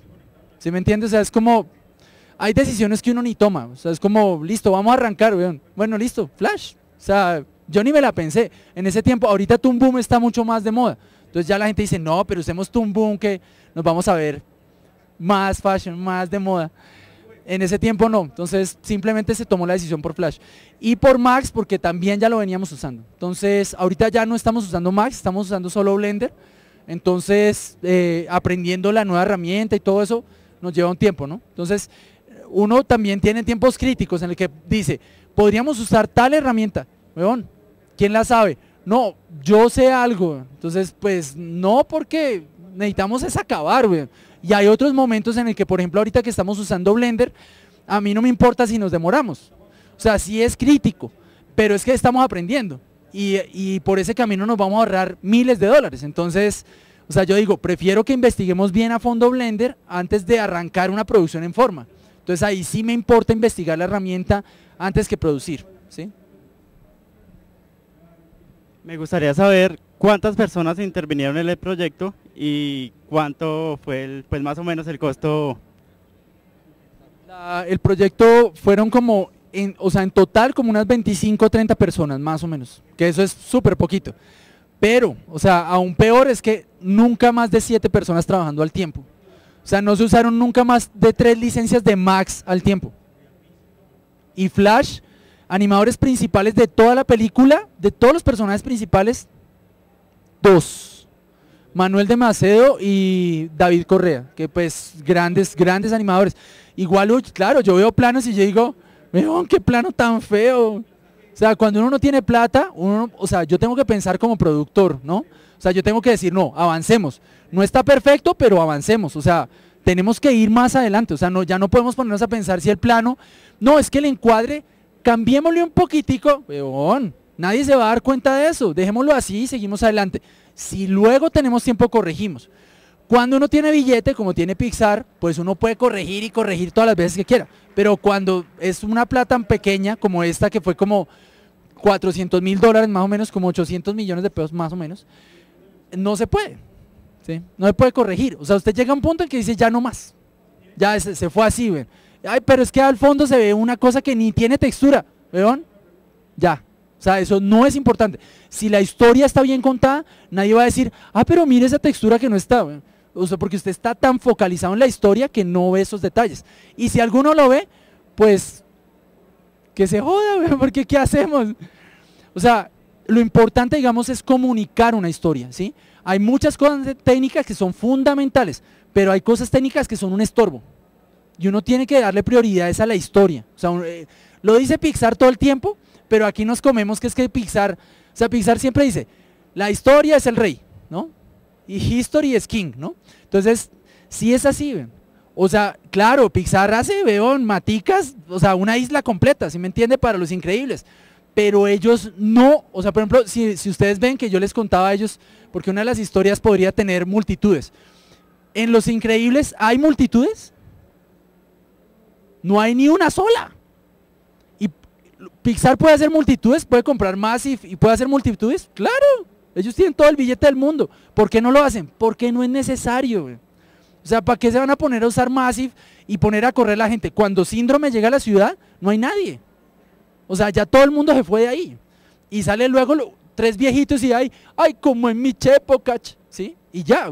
Y uno dice, ah, ese es el viejito que hace el pueblo. Y salen dos o tres más y no más. Entonces uno dice, o sea, muchas veces aquí estamos muy encarretados con la tecnología. O sea, nos, nos hace falta, pues, o sea, yo digo, hay cosas en las que la tecnología es fundamental y sin software digital no hubiéramos hecho la peli. Pero hay otras en las que la tecnología es simplemente un estorbo. Y uno tiene que pensar bien qué va a usar y qué no va a usar. O sea, afortunadamente hicimos personajes en 2D. Porque personajes en 3D, ahorita que estamos haciendo para los teasers, es como, uy, un render de un personaje en 3D, weón, se le pueden ir horas. Nosotros, el, cuadro que más se demoraba haciendo render, duraba hora y media, dos horas, un cuadro. Pero teníamos cuadros que duraban haciendo render un minuto, ¿sí? Que eso Pixar, ni Pixar puede hacer render de un minuto, ¿ah? y eso es por escoger una manera adecuada, estéticamente adecuada para contar la historia. Fue, fue, fue chepa, o sea, fue, fue pura suerte. Lo hicimos así porque creímos que era la mejor manera y resultó ser, pero hubiera podido ser un fracaso, ¿sí? Pero en muchos casos también si uno dice, no, pero es que ese reflejo, weón, póngale el, surf, el subsurface scattering y póngale, weón, usted ahí no sale, weón. Y el plano le queda al putas, pero nunca hizo ninguna película, ¿sí? Tiempo nos gastamos como cuatro años, cuatro años y algo. Hasta el 3D, porque el 3D lo hizo otra empresa, se gastaron como casi seis años. ¿Qué? Con entrevistas, siete. Sí, porque Jairo ya había hecho un corto del mismo tema. Les voy a mostrar entonces algo de lo que estamos haciendo ahora y ya con eso termino. Este es un proyecto que queremos presentar a convocatorias y a inversionistas. Ya se le ha presentado a gente, pero ya les voy a contar cuál es el problemita de esta historia. ¿Ya se durmieron?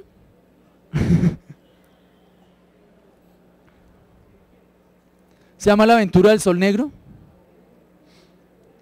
Básicamente es una, la misma, la historia cliché de siempre de los niños que salvan el planeta, tal cual. Entonces esta es una ficha técnica de que una cosa importante al hacer un producto audiovisual, ahorita que los canales mandan en todo, es usted tiene que saber para quién está haciendo eso.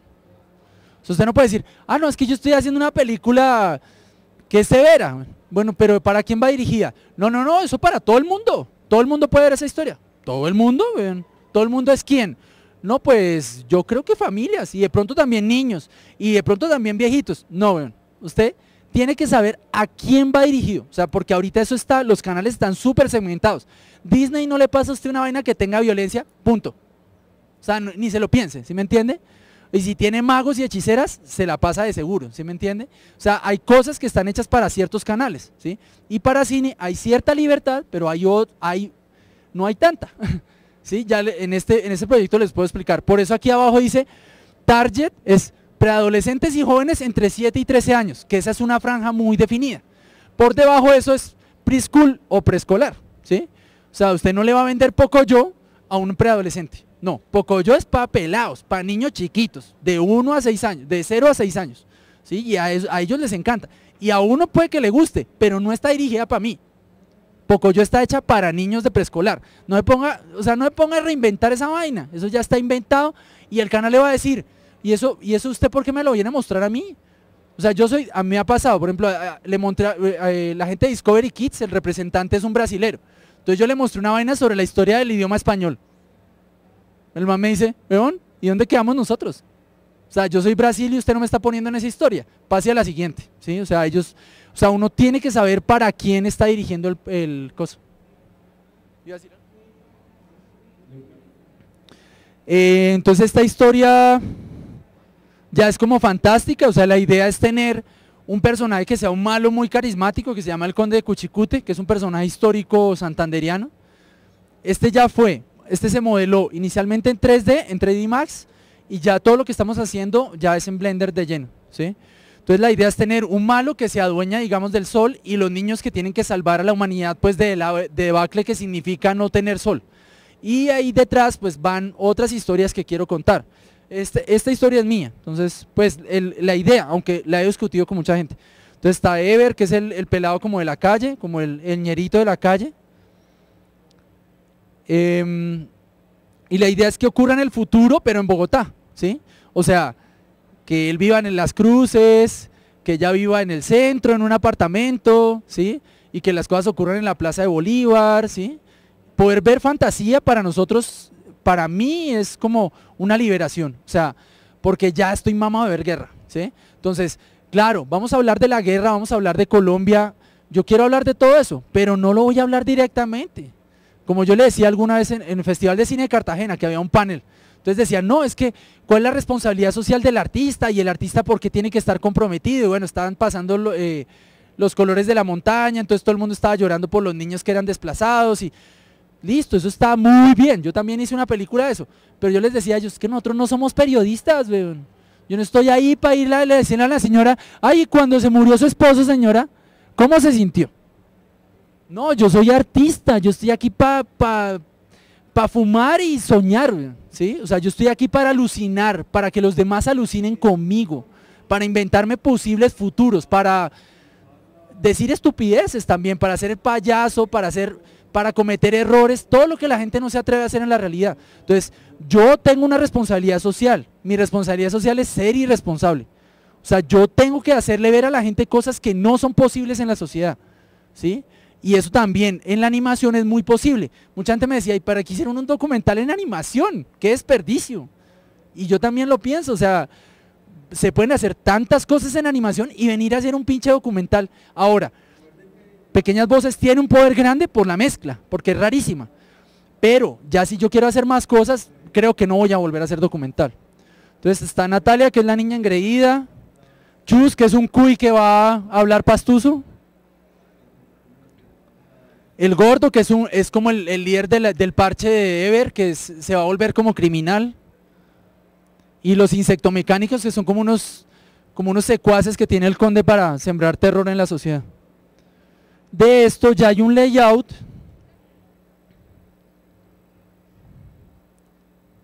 que ya se hizo enteramente en Blender. El trabajo de layout es en, en su mayoría de, de Juan Carlos Pineda, que está aquí con nosotros. Entonces aquí ya van a ver más bien cómo es un layout, ya esto es full 3D, o sea ya estamos arriesgándonos a hacer algo que no, los personajes no son planos, entonces pues ya es más, mucho más riesgo, o sea es más difícil. El problema de vender esta historia es que ocurre en Bogotá, fundamentalmente, es como, ah pero esa es una película nacional, Eh, sí pues, pero es una aventura de salvar el mundo, pero ocurre en Bogotá. Sí, pero pues ¿será que no le interesa a nadie más? No, a nuestro canal no le sirve, más o menos. O sea, si es en Bogotá, nadie lo va a ver, ni en México, ni en Buenos Aires, y mucho menos en Londres o en Nueva York. Ponla en Nueva York y ahí sí te la vendemos, o sea, más o menos. Es un poco, o sea, no es que ellos de malos, ¿sí? Pero estamos en ese punto en que nosotros no hacemos la distribución de nuestras películas, entonces nos toca plegarnos a los criterios de ellos. Entonces ellos dicen, eso no vende, ¿sí? Yo le decía a una, a una amiga, pues una productora importante en Argentina, yo le decía, oye, pero cuando el chavo a nadie le importaba, weón, y el chavo sigue vendiendo, diciendo torta, diciendo, aquí torta no es sándwich, ¿sí? Pero uno ya entiende después de ver el chavo mucho tiempo que torta es un sándwich, o que, no sé, al- algunos otros términos que uno ya no le importa que sea mexicano, y vende como un berraco. Pero ya como los canales son todos gringos, o sea, si usted va, le va a vender a Discovery, le va a vender a Fox, le va a vender a... Todo es, todo es, todo acá es de afuera, ¿sí? O sea, Movistar, Telefónica, todo es de otro país. O sea, nada es nuestro. Entonces nosotros tenemos que plegarnos a lo que ellos les da la gana distribuir. Entonces, si a, si a ellos no les conviene mi película, porque yo hablo mal de ellos, pues chupe, no la va a poder hacer, nadie le va a dar plata, ¿sí? O sea, uno cree como artista que uno es muy libre, pero los canales son los que mandan. O sea, los canales son los que dicen, esto se hace así y así, mijito. Y a usted no le gusta, pues vaya abriéndose y que venga el siguiente, porque como usted, ahí haciendo fila 200 más. Entonces veamos el layout y ya, termino. Está bueno, esa fecha todavía está por definir. Será como el 2052, creo yo.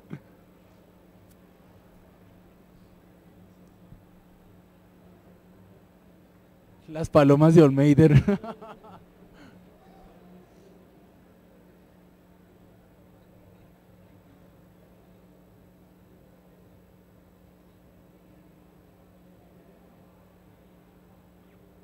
Esto es layout, entonces si ustedes ven los personajes no, no están animados.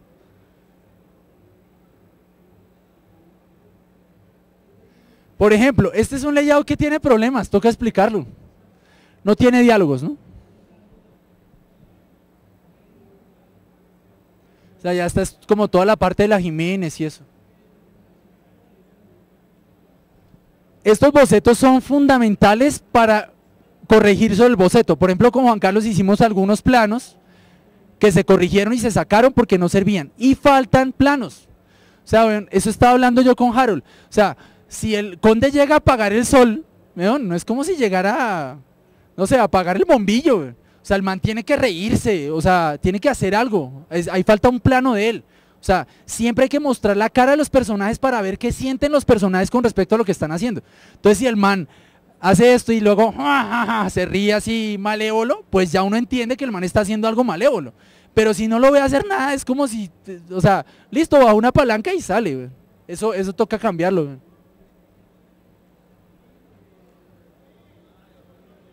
Bueno, ahí el QI como que muerde un cable y se electrocuta por sus amigos y no sé qué. Este es un teaser, ni siquiera sabemos cómo va a ser la historia. O sea, ya se ha escrito dos veces el guion y todavía es como, ese guion está malo. Escribir guiones sí que es difícil, pero súper difícil. Claro, un documental es fácil, porque uno ya tiene las historias puestas ahí. Pero escribir un guion desde ceros es complicadísimo. Les voy a mostrar lo último que es eh, Calamar este layout sí ya tiene sonido. Entonces Calamar es basado en una, en una telenovela de los 80s, de finales de los 80s, protagonizada por Armando Gutiérrez, la diva de los 80s. Y pues por Guri Guri, ¿no? Guri Guri. Generoso el Guajiro, Claramanta la Bella, eh, Ramón el Esqueleto, eh, este es el Capitán Olvido y Galeana Barrancas. Esta fue una historia original de Bernardo Romero Pereiro, que fue el que escribió Démonos de Vainas, escribió Señora Isabel, escribió, bueno, todas las novelas famosas de los ochentas eran de Bernardo Romero Pereiro. Entonces, esta fue una telenovela de aventura. Eso sí que es más pastiche que un documental animado, o sea, una telenovela de aventura. Pero el personaje todavía la gente lo recuerda mucho. Entonces, eh, les voy a mostrar ya para terminar esto entonces.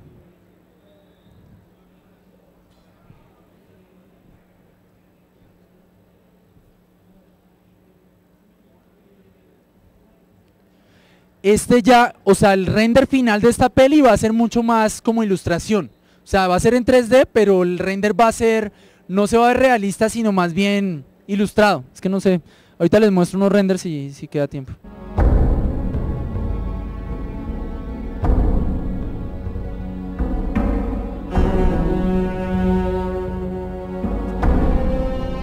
Nubes. Nubes negras se ciernen sobre el desierto de la calavera.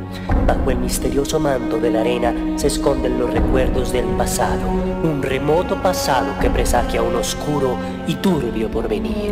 Un conjuro sagrado despierta la ira de la naturaleza y solo el amor podrá resistirse a su furia.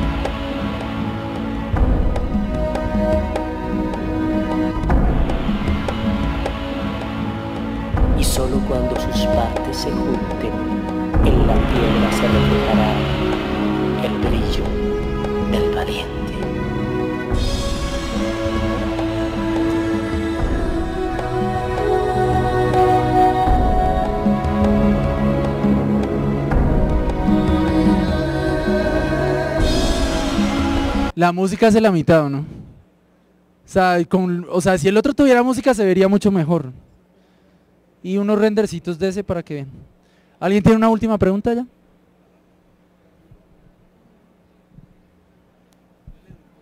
Bueno, eh, primero, pues lo felicito, los felicito a todo el grupo que, que hizo la, la película. Eh, yo la verdad hace tres años que vine, lo vi dando con pequeñas voces. En esa época era un cortico chiquitico y, y tenía pues el sueño de sí, marica, esa película la vamos a sacar y ahí estamos, ahí estamos. Y bueno, una super berraquera de que, de que ya, ya la hayan visto pues en muchos lugares del mundo. Faltamos nosotros, esperamos verla. Eh, la verdad pues yo no sé si eh, pues la gente que, que anime o que conozca animación acá en Colombia, pues yo me atrevo a decir que es la cúspide de la animación colombiana eh, esta película. O sea, eh, sí he visto animaciones colombianas, pero esta tiene lo que he visto hasta ahora. Yo puedo decir que, pues, marica, es una chimba de película. Es un buen trabajo, o sea, se ve que hay mucha, mucha calidad allí. Pues, y por eso digo que, pues, he visto animaciones colombianas, pero esto me parece, pues, que es de lo más grandioso que yo he visto últimamente. Súper sorprendido también porque ya usas Blender, hace tres años rajadas del Blender. Fue puta Blender, tan malo, eso no tiene no sé qué maricadas. Y el man de software libre, puto y rojo, ah, este man, ¿por qué me raja del Blender? Una chimba que era utilizando Blender. Y pues, ah, bueno, eh, lo, lo de Calamar, yo cuando era niño me vi la, la novela. Y pues eh, Guri Guri, aparte de eso, no salió en los primeros capítulos porque no había llegado a Estados Unidos porque está en el laboratorio de Jim Henson. Eh, y, lo metieron un tiempo en un baúl hasta que lo sacaron de ahí, pero era muy, era más grande, ¿no? ¿Cómo, cómo va, cómo va? Pues, o sea, hay gente que cuando la vea no, de pronto no va a notar eso porque nunca la vio, pero pues gente que ya tiene sus casi 30 años encima, sí va a decir, oh, venga, ¿cómo así?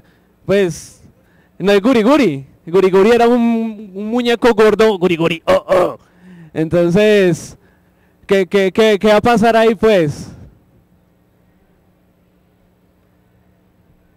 Esa es una duda que tuvimos desde el comienzo y de diseños de Guri Guri se han hecho 80 mil. Y ulti- el último que hicimos, que lo modeló Fabián, eh, ya se hizo más inspirado en un dibujo que hizo suelto el director de arte, que es John Hernández, que fue quien propuso el proyecto. Eh, sí, no, pues ahí pondremos al Guri Guri ese feo que ponían antes y decimos que es el abuelito del Guri Guri de ahora. No sé, o sea, eso puede pasar, eso puede pasar y, eh, eh, sobre eso no tenemos libertad de decisión, tenemos que consultar, yo creo, con Caracol y con los dueños de los derechos que son la, pues la- la esposa de Bernardo, o sea, la viuda de Bernardo y las hijas. Entonces, toca mostrarles a ellos también porque ellos también están invirtiendo su capital o digamos están, están poniendo parte del riesgo. Entonces, imagino que no será fácil la decisión. Yo preferiría no Guri Guri, es que a mí siempre me pareció horrible Guri Guri. El original, yo sé que a todo el mundo le encanta, pero yo no sé qué le ven.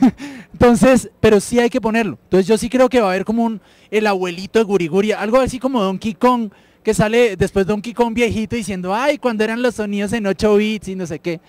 Entonces, de pronto algo así pueda resolver el problema. Pero sí es un problema, porque la gente lo recuerda y de pronto dice, ese no es Guri Guri. Y ya. Bueno, por aquí dos preguntas. Eh, por un lado, ¿qué ventajas proporciona Blender aparte de ser software libre sobre las otr- otras herramientas? Y la otra, eh, el proceso de, de sonidos eh, ¿en qué etapa de, de preproducción se mete? Para sincronizarlo bien, ¿en cuál de las etapas se, se incluye? Blender tiene una gran ventaja y es que es muy liviano. Entonces nosotros ya lo hemos probado. O sea, Trimax se gasta como dos minutos en cargar, más o menos en las máquinas de secretaria que nosotros tenemos. Que fue con las que se hicieron la película además. Y eh, Blender gasta 5 segundos. Pero es que es ridículo. O sea, es que además, bueno, yo siempre he sido una bestia para render. O sea, a mí el render no me... No sé, no me, no me llama la atención por un lado. Y siempre me parece una cantidad de palancas, weón. O sea, si hay algo complejo en los programas de Mental Ray o en V-Ray, es como, puta, eso hay que moverle 80 palancas para que eso más o menos se comience a ver. En cambio, en Blender uno prende Ambient Occlusion, Indirect Illumination y sale, weón, ya quedó bien. O sea, a mí me sorprende muchísimo. Y Blender además tiene un compositor de nodos que es muy bueno, que, que da muy buenos acabados. Pues aquí les voy a mostrar algunos de los renders que ha hecho que ha hecho Juan Carlos, que tienen postproceso directamente en Blender. En cambio en Trimax usted tendría que salir a, After Effects o a, Combustion, a algo para, para poder hacer efectos. En cambio en Blender no. Y pues es gratis, es que aquí todo el mundo, todos, todos estamos condenados a trabajar pirata, no me jodan. O sea, nadie aquí tiene 4 mil dólares para comprar, bueno, tiene 4 mil, pero tiene 4 mil por 5 o 4 mil por 10, weón. No, y además es que esa plata que se gasta en software, luego usted no tiene para pagarle a la gente. O sea, ¿por qué, ¿por qué vamos a pagar software si la gente necesita? O sea, es la gente la que pone el talento. Ahora, yo antes eso, odiaba Blender, me parecía asqueroso. El último Blender mejoró muchísimo, muchísimo. O sea, para mí está muy, muy entendible, porque es que el problema de Blender era que no se entendía. O sea, no se podía ni manejar. Pero ya el último está muy entendible. Entonces, oye, eso sí, yo estoy tratando de migrar poco a poco.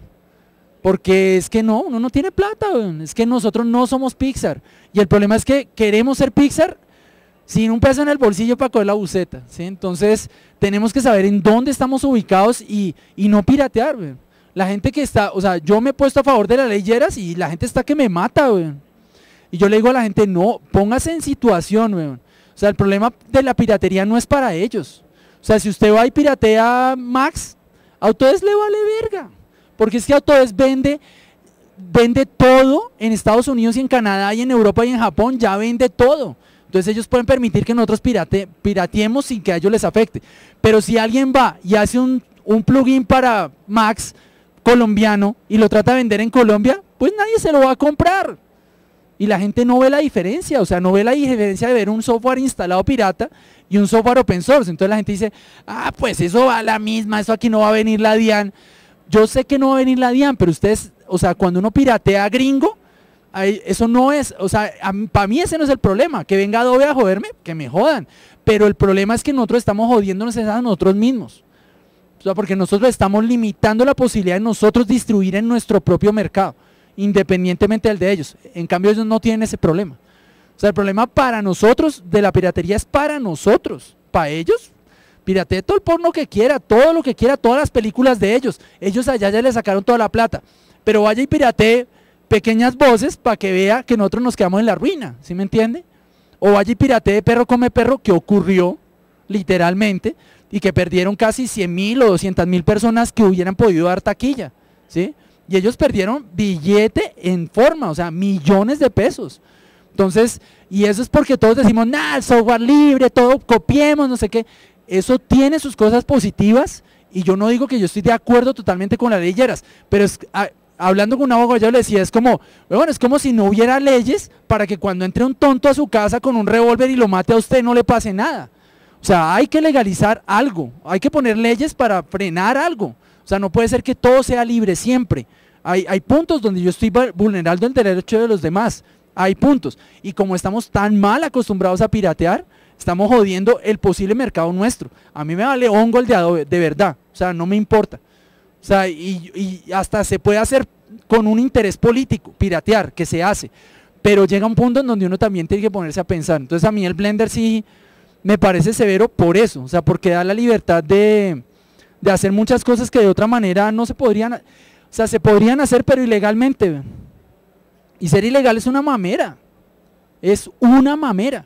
O sea, nosotros hicimos la película con una licencia de Trimax. Si no hubiera llegado RCN a decir yo le compro la película, nos van, me, van y me echan en la cárcel a mí.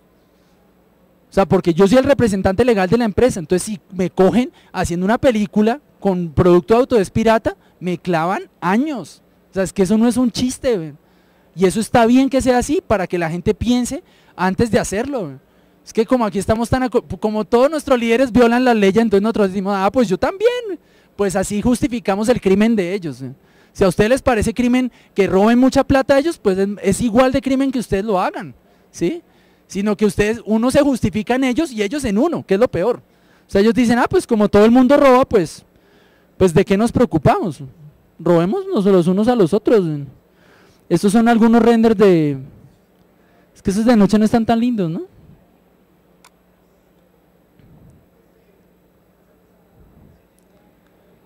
Por ejemplo, este es un render de Blender sin nada.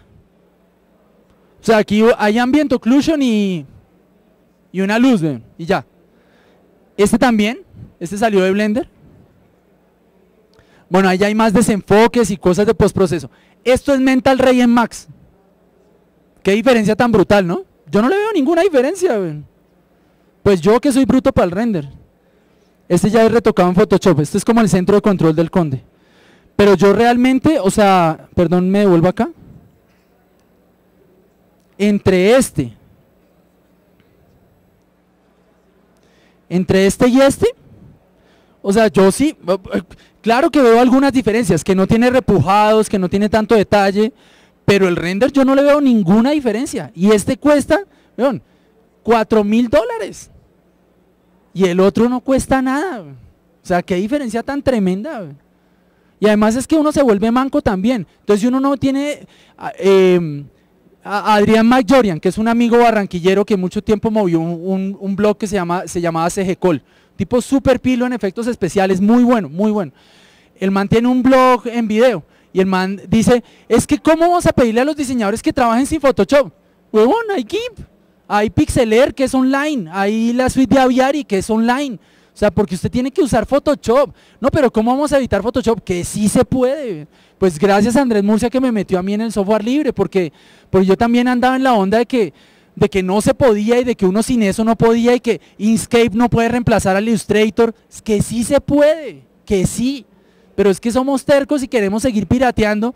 Es, es la misma huevona de comprar iPhone y iPad y... ¿Quién tiene iPad acá? ¿Quién tiene? No, pero no sean tímidos, tener iPad es elegante. ¿Quién tiene un iPad? ¿O un... ¿Nadie tiene iPad? Entonces, ¿a qué estamos jugando? Es que queremos de verdad, o sea, queremos estar en Hollywood sin tener plata para la buceta. No tenemos plata para comprar iPod y iPhone. No tenemos. No nos sirve, no nos sirve. Hay muchas cosas de los gringos que no nos sirven, pero nosotros queremos ser elegantes usando Adobe, pero es que no podemos. ¿Sí? Entonces hay un engaño ahí muy fuerte que nos tienen lavada la cabeza de que tenemos que si no usamos iPhone no somos persona, güey, que si no tenemos iPad y Twitter no somos persona. güey. Despertemos, o sea, hay cosas mucho más importantes que eso.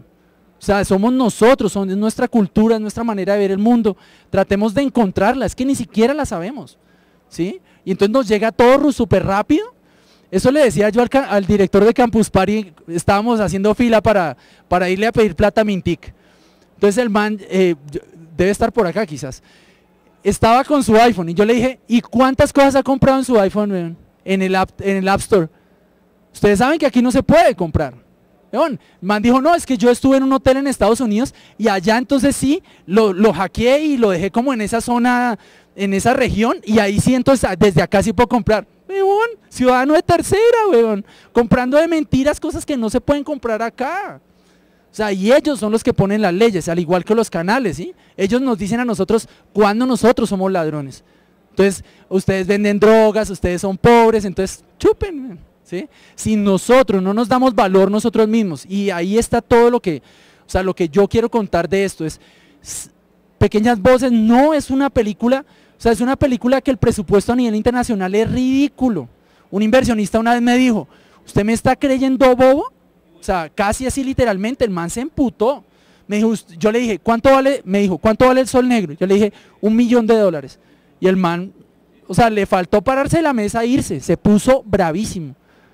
O sea, es como diciéndome, usted me va a decir que usted puede hacer esa película en un millón de dólares cuando una película de animación en Hollywood no vale menos de 60 millones. Entonces yo le dije, pues si usted supiera con lo que yo hice de pequeñas voces y estuvimos en Venecia, ¿sí? Hemos ganado premios internacionales. Entonces, ¿el problema es tener millas de millones? No, el problema es encontrar qué es lo nuestro, qué es lo que nos hace diferentes, qué es lo que nos permite desarrollarnos a nosotros mismos, sin, sin medirnos con otra gente. O sea, es que yo estoy mamado de que me midan con otra gente, pero es que eso no se ve Super Pixar. Pues no, no se ve. ¿Y qué? O sea, a mí qué me importa eso. O sea, hay muchas cosas que subyacen a eso, que es el arte mismo, por eso traté de enfocar la- toda la conferencia en la parte artística. O sea, para que vean que eso no es una cosa mágica que eh, oscura. El arte es tan sencillo como la ingeniería y tiene tantas reglas como la ingeniería. O sea, los ingenieros normalmente creen que el arte está sin reglas. El arte tiene todas las reglas que usted quiera, todas. O sea, lo que les decía ahorita, no encuadren así, encuadren así, pongan el personaje así, acerquen la cámara, tiene reglas. Son más intuitivas, pero tienen. Entonces, eh, y eso no es magia negra, lo podemos hacer desde acá sin tener tanta tecnología. Y aún inventando, ojalá algún día nuestro propio software, ojalá. O sea, va a ser muy difícil, pero, pero ¿por qué no? O sea, a uno le dicen, pero es que usted se va a volver a inventar todo, weón. Usted se va a volver a inventar Facebook. Pues sí, quizás sí, weón. Quizás sí necesitamos volvernos a inventar todo para entenderlo, porque es que no lo entendemos. O sea, somos un poco esclavos de la tecnología porque no entendemos nada de lo que usamos. Y entonces nos sentimos mal porque lo usamos mal. Si es como, no, pero es que qué pena, es que yo, tú no tuiteas desde tu, desde tu iPhone. Pues claro, no tengo iPhone, ¿cómo va a tuitear desde el iPhone? Sí, a duras penas hay BlackBerry y eso. Y usted ve los periódicos y dice, eh, Android vende más celulares que... ¿Quién aquí ha visto un Android? ¿Quién? ¿Quién tiene un sistema? ¿Quién tiene un Samsung con Android aquí? O sea, yo tengo un Nokia que a duras penas da la hora, weón. ¿Sí me entiende? O sea, un teléfono que me sirve para llamar. Yo no tengo un Android. pero entonces uno vive en otro mundo, weón. Porque los medios lo, lo acostumbran a uno. Uno, si es que Android es la moda y vamos a desarrollar para Android. ¿Para venderle a quién? O sea, ¿usted cómo va a saber a ellos qué les interesa comprar? Si usted ni conoce la cultura de ellos, usted cree que la conoce, pero todo lo que usted tiene es remedo, es pirata. ¿sí? Entonces, es, es lo que yo digo a partir de ahora, o sea, seamos originales. Esa es la única manera de no ser piratas. Tratemos de ser originales. ¿Qué es ser originales? Pensar de nuevo todo, todo, replantearnos todo y decir, ¿será que eso sí debe ser así? ¿No habrá otra posibilidad de vivir que no sea sin Twitter, que no sea sin iPhone? Probablemente. Y a nosotros nunca nos ha hecho falta. A mí no me hacía falta el iPhone. Me gustaría tenerlo para mostrárselo a, las nenas que me quiero levantar. Pero pues realmente así que sea el uso, el que, que no puedo vivir sin el iPhone, tampoco. ¿sí? Entonces hay muchas más cosas. O sea, el mundo es más posible cuando uno lo mira. O sea, para mí ha sido durísimo. O sea, igual con Andrés hemos peleado las empresas a sacarla adelante, pero es durísimo. Es mucho más fácil estar con el, con el iPhone y ir a la reunión de la señora con la señora de Mintic con el iPhone, weón. Pega más porque ya tiene iPad, weón. ¿Sí? O en la reunión que estuvimos con Andrés, con la, con la viceministra de, de, Mintic, la, la nena se la pasó tuiteando todo el tiempo, weón. Ni siquiera nos ponía atención. ¿Sí? Es como... Y ellas, pues como habla la mitad en inglés y la mitad en español, pues... Sí, le dará como pena vivir en este país ahí de tercermundistas, yo creo. Bueno, pues muchas gracias.